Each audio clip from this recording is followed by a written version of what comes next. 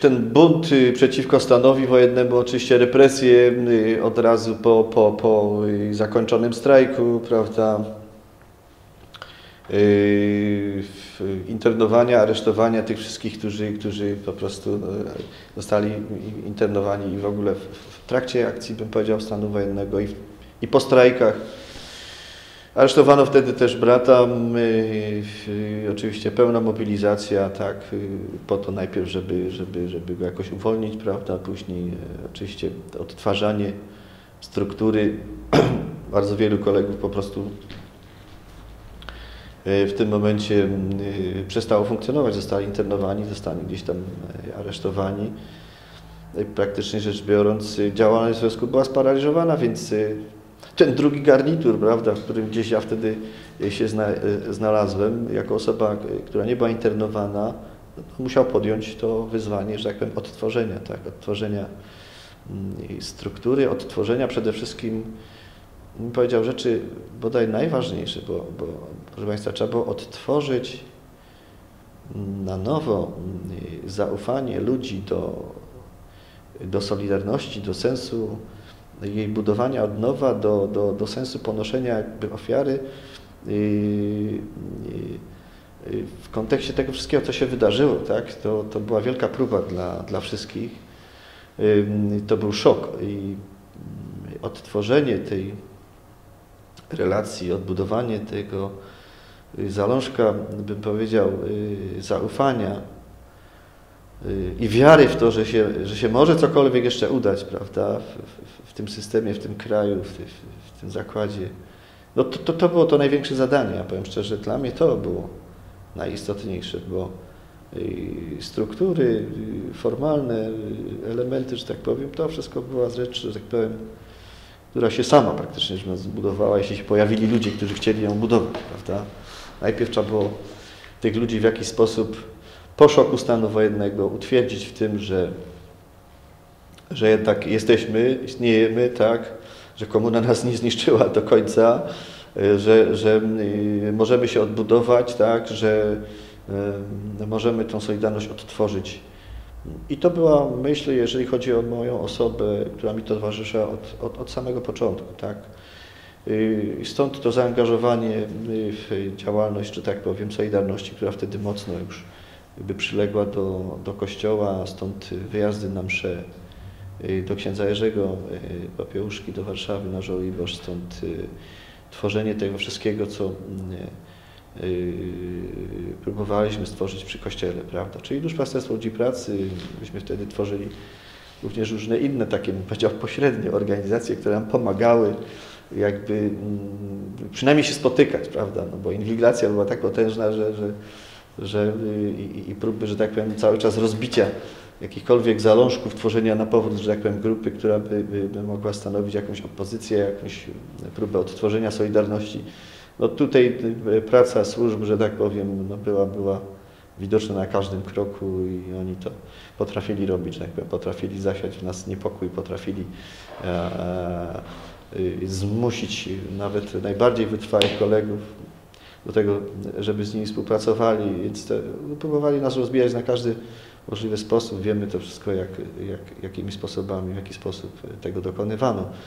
Natomiast odtworzenie tej więzi, odtworzenie zaufania, odtworzenie tego mm, y, elementu odwagi, prawda, przecież każdy z nas też miał y, rodzinę, miał jakieś zobowiązania w innych miejscach, prawda, można to było łatwo stracić, przekreślić, zniszczyć i, i to wszystko wymagało olbrzymiej pracy no i zaangażowania przede wszystkim, mimo y, tych represji, które na nas spadły. To był taki element najistotniejszy. W to się mocno zaangażowałem, budowanie struktur tych przykościelnych. Y, no, zbudowaliśmy wtedy oczywiście Duszpasterstwo Ludzi Pracy, to była taka, bym powiedział, podstawowa, bym powiedział, organizacja, ale zbudowaliśmy zaraz obok też Bractwo Świętej Brygidy, jakieś tam PTT koło, że tak powiem, powstało. Zbudowaliśmy oczywiście Bractwa Trzeźwości, prawda? To było dla nas bardzo ważne. Nawiązaliśmy do tradycji, że tak powiem, księdza Ficka w piekarach.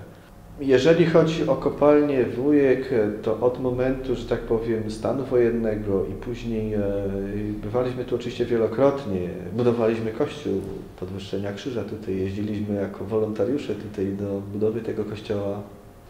Pamiętam e, ten mszę w tym baraku, który tam stał, taki, taki. A, i gdzieś tam uczestniczyliśmy w tej budowie. Oczywiście próbowaliśmy zawsze składać kwiaty w trakcie stanu wojennego i w tych rocznicach. Różnie to się kończyło. I,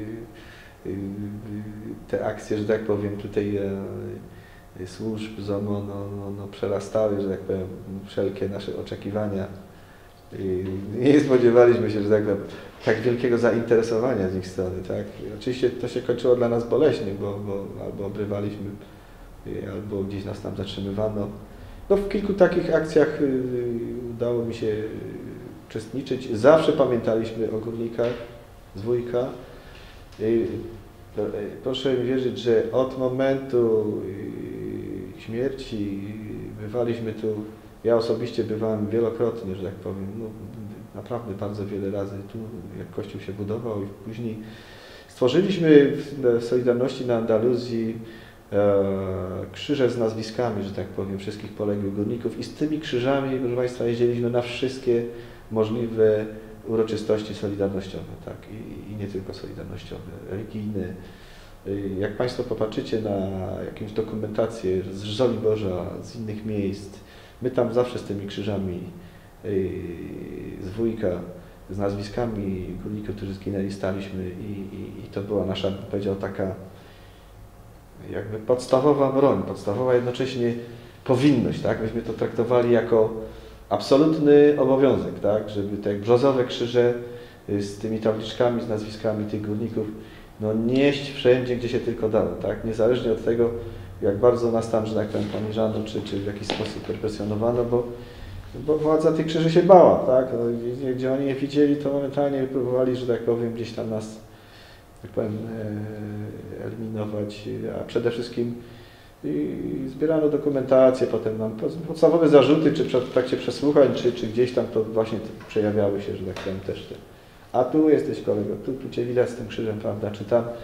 Yy, więc, a my, a my wytrwale z tymi krzyżami od samego początku i do, do właściwie dzisiejszego dnia, bo z tego co pamiętam, nie wiem jak to tam w tej chwili na Andaluzji jest, ale ale pewnie gdzieś te krzyże tam dalej są, gdzieś te krzyże się tam gdzieś pojawiają jeszcze w różnych uroczystościach. To był nasz obowiązek i to była nasza, bym powiedział, służba i, i, i, i taki, bym powiedział, element y, pamięci, który nieśliśmy przez cały czas stanu wojennego y, do samego końca, że tak powiem, jeżeli chodzi o kopalnię wujek. Tak? I, I to moje zaangażowanie no to była też ta inicjatywa utworzenia y, Komitetu Pamięci Górników.